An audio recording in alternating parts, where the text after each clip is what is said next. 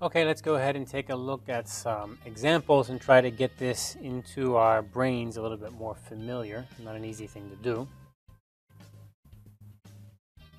Left-handed players were more accurate than right-handed players. So in this case, we have the hyphen, and again, this idea here. So right-handed, this is one idea, this, this group of players, and we can go ahead and hyphenate it. So that saves us some trouble. All right, here's another example. Error producing. The program simulated the error producing decisions of novices. So this error producing is one idea, one group, and that influences this decisions. So we can hyphenate it. Temporal groupings were more effective than spatial groupings. Temporal groupings were more efficient than spatial groupings. And here we have the hyphen missing here and the hyphen missing here. And we're not going to be using the hyphen here because it would be, the hyphen should be two words here, then modify this grouping. Or two words here, modify this grouping. So this is not going to be hyphenated. And in fact, you can see temporal and spatial. These are two different groups, so we need to keep the names clear. Temporal group and spatial group. So no hyphen. A largely ignored illusion is now receiving attention from researchers, and here you can see the hyphen added here. But this is wrong because actually a good point here is why would you say largely ignored? What does that mean, largely? when you could just say an ignored illusion is now receiving attention. So I think this is an important point in that not only is this not really modifying ignored very well, so it doesn't really go together, a largely ignored illusion, you should really make your research writing clear, and that is don't say things that are hedging. That is a little bit maybe, a little bit yes, a little bit no, I'm not really sure. Just say it's ignored or it's not ignored or it's well known rather than largely ignored.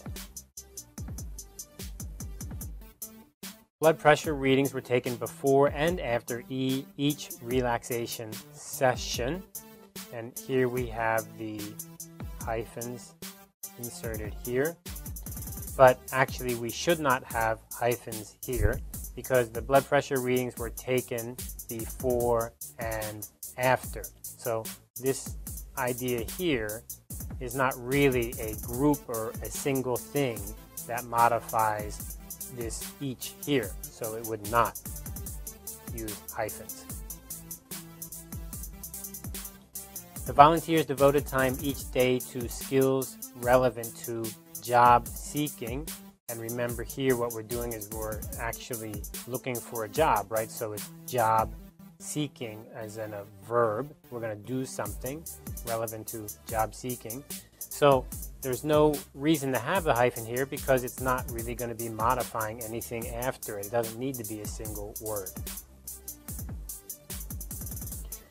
The neighborhood selected contains single and double family dwellings. And here we have this special case of double family. So this does seem to be good for a hyphen because we're saying dwellings are this kind, double family. There's also another kind of dwelling called the single family. However, we could put family here, use a hyphen and then write single family and double hyphen family. But to save space, we just write single with the hyphen here and then double with the hyphen here. But then family we only include once here, but the idea is this family also belongs here. So it's single and double family. But you must remember to put the hyphen in there. So dwellings have the two types, double family and single family. So that is correct. The experimental design allowed us to assess the effect of the pre-test on performance. So here is this idea of the pre-test. Now, why would this be a hyphen? Because again, are you sure it's modifying something here? Is it one type of something here? No, it's not. Plus, if we check the dictionary or check other published papers in our journal, we're going to see that this is a single word, not a compound word. It can be used, it's compound, but it can be used as one word. It's a compound word that can be written. An indirect measure of attitude or memory presents fewer opportunities for subjective bias than does self-report. So a self-report is a type of report. Now we don't have anything here to modify, do we? But that's just because we've stuck it at the end of the sentence. It is one kind. It is one kind. So an indirect measure of attitude or memory presents fewer opportunities for subjective bias than does self-report. There are other kinds of reports, aren't there? There is an indirect measure of attitude or memory. There's all kinds of ways to measure this. This is one way to measure it.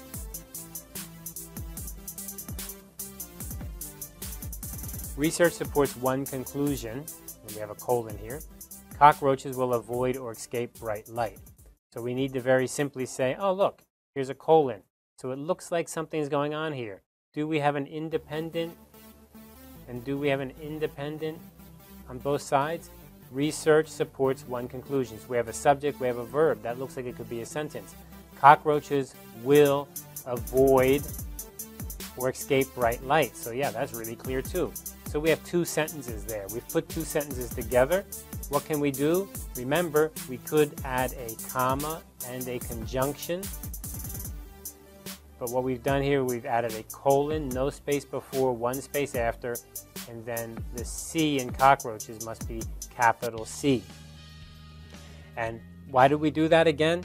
We do that for that unusual case where we're taking a sentence and a sentence and jamming them right together because they're really related, really close, and I want to have the idea very smooth. That's quite okay, but don't do it a lot. If every couple sentences you're doing this, jamming sentences together, the reader becomes very confused. It's for a very special case where these two ideas really go together, and I want to prove to you, boom, that they go together. I'm trying to show in my research they're very close together.